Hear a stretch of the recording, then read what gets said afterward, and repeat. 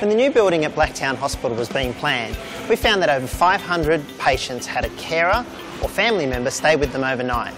This equated to over 3,000 nights of stay. We asked our patients and carers what was important to them, and they told us that they wanted to have somewhere comfortable near the patient that the carer could stay overnight, so that they didn't go home tired and exhausted after sleeping all night in a chair. We worked with the architects and redesigned 40 single rooms to include a carer zone. The rooms have a lounge which converts into a proper bed so the carer is able to sleep comfortably.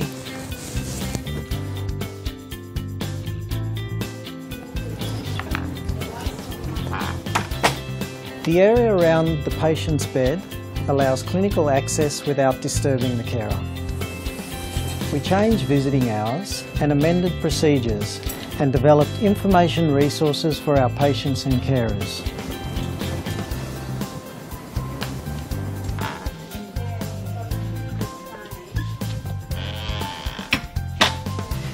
We have found patients are less anxious. There is a decreased need for a special nurse staying over with a confused patient as the carer provides a reassuring and familiar face.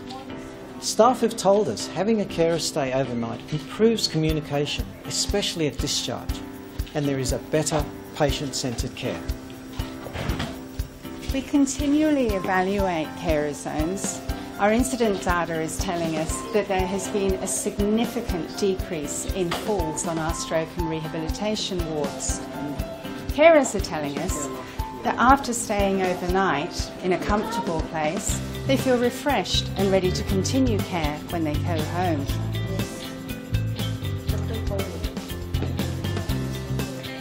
Having a carer stay overnight improves patient experience and safety.